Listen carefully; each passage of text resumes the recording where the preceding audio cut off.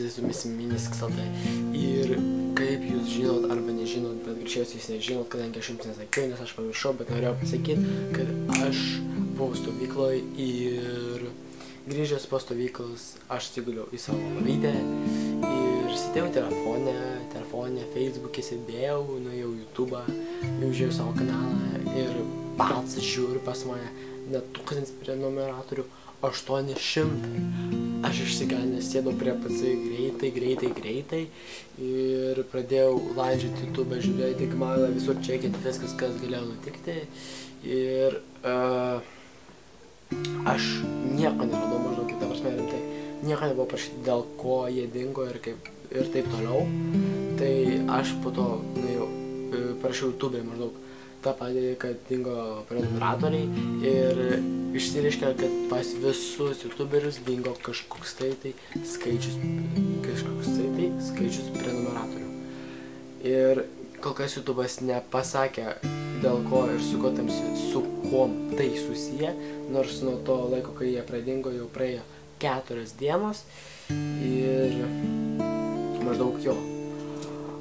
O, vėliau parašiau savo partnershipo darbuotojams, paklausė, gal jie žino, dėl ko tai yra.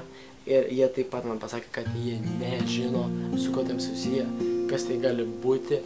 Ir, bet e, pasakė, turi, kad maždaug turi teoriją ar kažkas, kažkas panašaus, kad e, aš jau pasakiau maždaug, man tą patį pasakė, ką aš radau ir YouTube'ai, maždaug, kad e, gali būti susijęs su tom, kad trina senus akauntus, kuriais nenaudojasi, arba eina e, profilaktiniai darbai, kaip maždaug antiteroristinės e, sankcijos ar kažkas panašaus, tapsime, yra parašyta.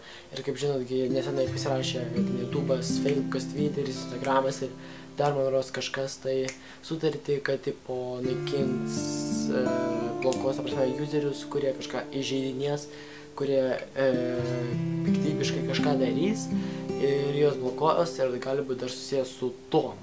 Tai va, ir kodėl aš taip daug, daug, daug, daug, daug dažnai taip ranką musikuoju, aš nežinau. Ir šiauriai nusiminęs esu, kadangi uh, pasiekęs tūkstančių prenumeratorių ribą, net aukščiau, jau buvau beveik 1100 turėjęs. Aš nukritau vėl į žemumas, į žemumas, žemum, žemumų žemumas ir turiu 800, nu beveik 900 prenumeratorių. Ir ta prasme tai žiauriai nuvilia mane maždaug. Žiauriai nusileido rankas, rankos ir...